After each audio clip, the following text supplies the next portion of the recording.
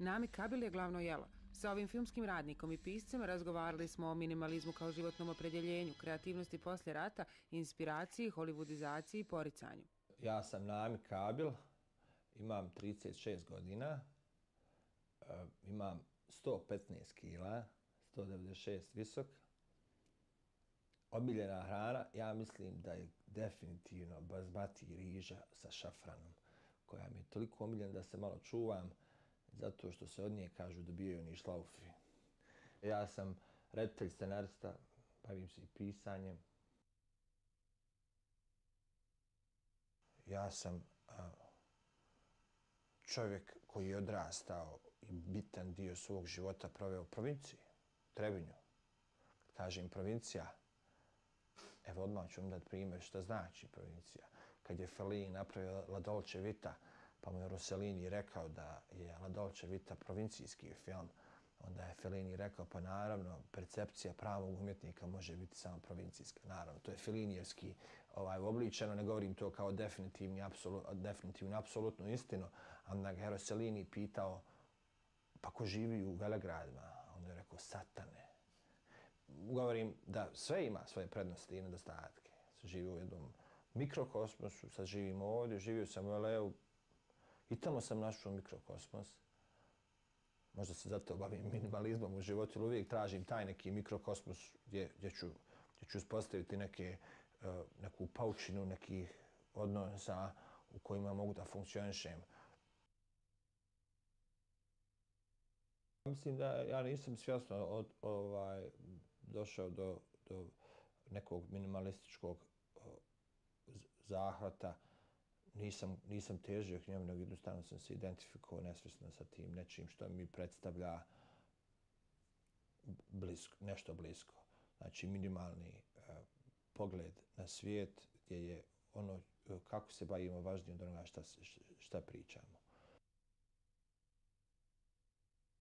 Ne, po, imam osjećaj da ima dosta, konkretno ovdje u Bosni, u Sarajevu, imam osjećaj da ima dosta te neke kreativne energije koja direktno proizvod rata, konsekvenca rata, postoji, uh, postoji potencijal.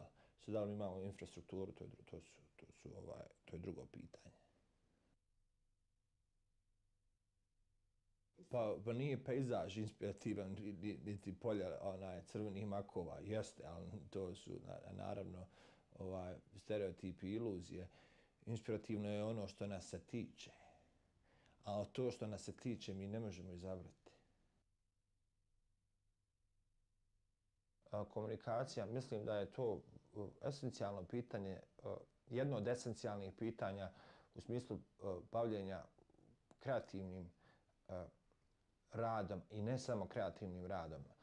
Pitanje je e, da li mi radimo nešto da bi imali dijelo, da bi se naše ime vrtilo po novinama, da bi nas intervjuisali, da bi se e, katapultirali sa našim sujetama u prostor gdje nas vidi više i čuje više ljudi ili mi uh, ili kao suprotno tome što bi trebalo da bude bolje ili mi uh, želimo da kažemo nešto što je, je uh, nezaustavljivo u nama kao krik.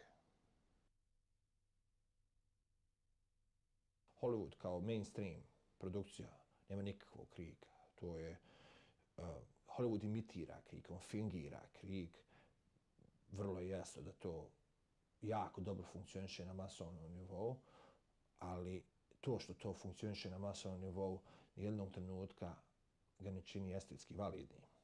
Da li postoje dobri hollywoodski film? Naravno da postoje naravno da postoji. John Ford je radio u Hollywoodu i Tarantino radi u Hollywoodu i Howard Hawks je radio u Hollywoodu i, i Hitchcock je radio u Hollywoodu i Charlie Chaplin je radio u Hollywoodu. Ali ono što mi zovemo danas a, globalna mas produkcija, hollywoodizacija svijeta, to je industrija.